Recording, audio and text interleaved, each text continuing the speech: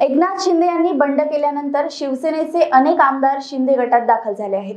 कोकणातील रत्नागिरी जिल्ह्यामधील आमदार शिंदे गटात जाण्याची शक्यता वर्तवण्यात येत होती. दापोलीचे आमदार योगेश कदम शिंदे गटात सहभागी झाले आहेत. दरम्यान आमदार भास्कर जाधव हे नॉट रिचेबल झाल्याने चर्चा सुरू झाली. मात्र भास्कर जाधव हे चिपळूणमध्ये आहेत. गुहागरचे आमदार भास्कर जाधव चिपळूणमध्ये आहेत. भास्कर जाधव नॉट रिचेबल असल्याची माहिती निराधार आहे.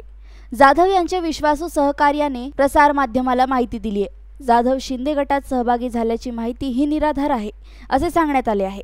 एकनाथ शिंदे यांनी राज्यातील आठ ते नऊ जिल्ह्यांतील शिवसेनेचे आमदार गळाला लागले आहेत. कोकणातील शिवसेनेचे आमदार भास्कर जाधव हे गेल्या काही तासांपासून नॉट रिचेबल असल्यामुळे शिवसेनेला आणखी एक धक्का बसल्याची चर्चा सकाळपासून रंगली होती. जाधव हे गुवाहाटीला निघून गेले ही निव्वळ अफवा असल्याचे सांगण्यात आले.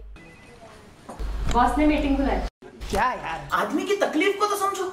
बाहर बाहर उठो बैठो उठो बैठो। जनाब तकलीफ़ उठने बैठने की नहीं तकलीफ़ बवासीर की है। बवासीर फिशर भगंदर पाइलोनियल साइंस का आयुर्वेद तथा आधुनिक लेजर से उपचार। अभ्युदय पाइल्स लेजर हॉस्पिटल लोहार समाज भवन के पीछे महापुष्प सोसाइटी शताब्दी नगर चौक से मनीष नगर रोड नागपुर। कॉल और विज़िट करें www.pilesfistulacure.com